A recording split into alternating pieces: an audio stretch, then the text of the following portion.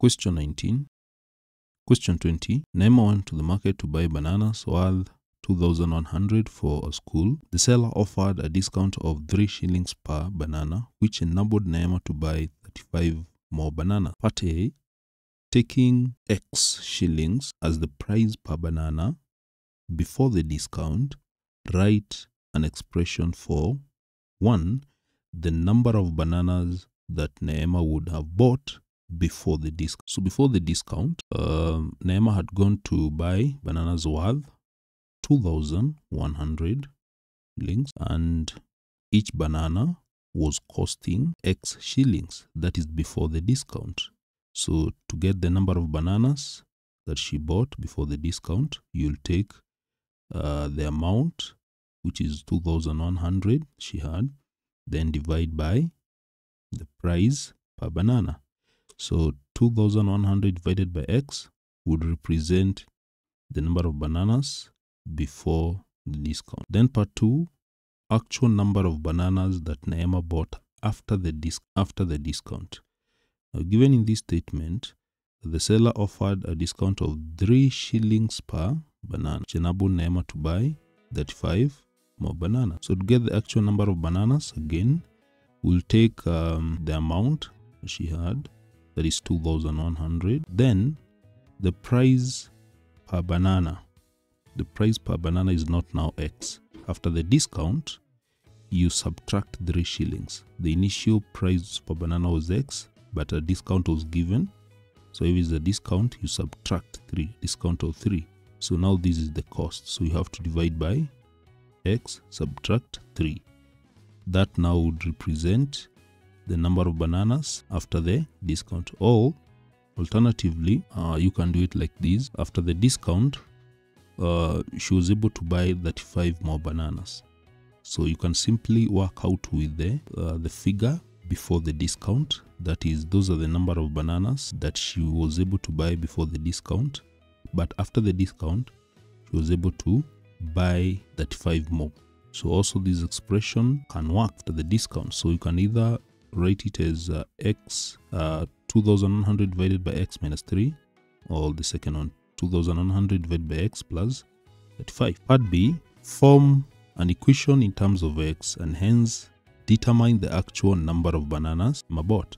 So with uh, the expression in part in A part 1 and A part 2, we can be able to form an equation in terms of x. So in the second equation, this was when he, she was able to buy more bananas. So if we take uh, the equation in part 2, because this is where she was able to buy bananas, if you subtract, if you subtract the number of bananas that she was able to buy after the discount, which is um, 2100 divided by x minus 3 you take that and subtract the number of bananas that she was able to buy before the discount that one should give 35 because in the second part she was able to buy more banana. That is in part 2 after the discount she was able to buy 35 more. So that expression is what you're going to use and to give you the number of uh, the actual number of bananas she was able to buy. So now we need to solve this equation solve this equation. And solve this equation you can begin by uh, dividing this one by 1 so you can divide that one by 1 look at the denominator. Get the LCM of x minus 3 and x and then 1 which will give x x minus 3 then multiply each term by that uh, LCM so for example you can take uh, 2100 divided by x minus 3 you multiply that by the LCM which is x, x minus 3 then subtract those 100 divided by x multiply that one still by the LCM x x minus 3 then is equals to 35 again for this one you multiply by x x minus 3 like that. So when you solve these you'll be able to get the value of x. So let me cancel out. So x minus 3 x minus 3 will cancel there x there will cancel and uh, this is what you're going to have for this one you'll have 2100x then minus uh, for this one you'll have 2100 100 brackets x minus 3 is equals to this one will give 35 x squared minus 105 x this will give uh, 2100x minus 2100x plus when you open the bracket 2100 times 3 you get 63 100 is equals to 35x squared minus 105x then from there there's something that you'll note. This one and this one you subtract 2100x minus 2100x you'll eliminate that. And then you'll be left with these eh?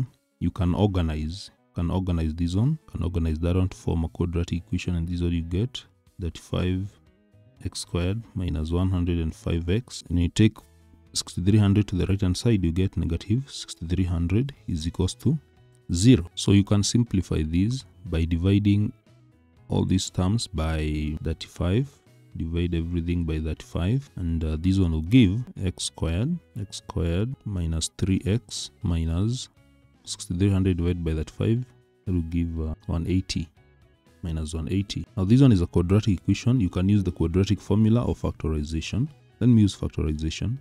Look for two numbers whose product is negative 180 and sum is equals to negative 3 the numbers are uh, these numbers are negative 15 and 12 negative 15 and 12 so solve these. So give x squared. So write negative 3x using negative 15 and 12 so negative 3x will be given by negative 15x plus 12x minus 180 equals to 0 so these factorize x minus 15 then plus 12 x minus 15 is equals to 0 so this will simplify to x plus 12 x minus 15 is equals to 0 in this case you have two answers. X plus 12 is equals to 0 so here x will be negative 12 we will ignore this because uh, x represents cost cannot be negative. So then x minus 15 is equals to 0 so here we get x is equals to 15 and this will be the solution. So x we found x and uh, remember x is the price per banana per banana before the discount. So now the actual number of bananas that she bought of course that will be after the discount so after the discount from uh, the second expression the actual number of bananas bought will be 2100 divided by x minus 3 2100 divided by x minus 3 which will be 2100 divided by uh, 15 x is 15 minus 3 and this will give when you work it out you get 175 bananas. So that is the actual number of bananas nameable part c. The bananas were given to students in a school two-fifths of the student got two bananas each while the rest got a banana each that is one banana each.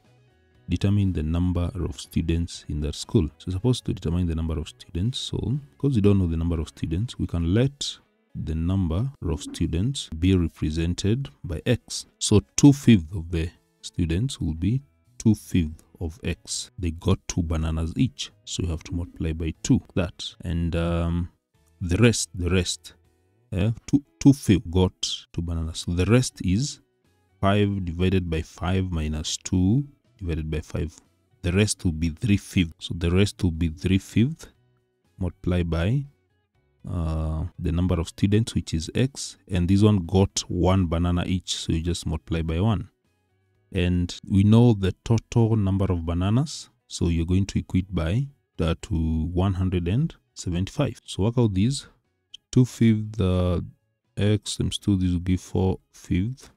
X plus this will give 3 fifth. X is equals to 175 now simplifying this you'll get 4 fifth uh, plus 3 fifth you get 7 over 5x is equals to 175 you want to remain with x make x the subject. So multiply both sides by the reciprocal of uh, 7 over 5 which is 5 over 7 times 5 over 7 so therefore x will be 175 times 5 over 7 and this will give 125 students. So that is the number of students in the school